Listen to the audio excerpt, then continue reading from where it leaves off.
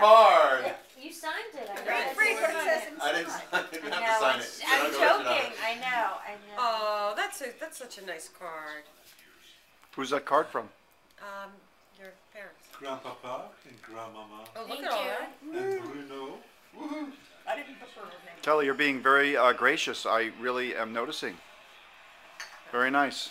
Much appreciated. She's a polite girl. Yep, that's very good. We'll all go out shopping with Kellie. Yeah. Oh wait, you have this week off, right? So the new Coles in Newton. shopping. You go shopping tomorrow? Oh yeah, I'm not thinking call yeah, probably. That's They her should store. have- No, well, no, Yeah. I, I can't.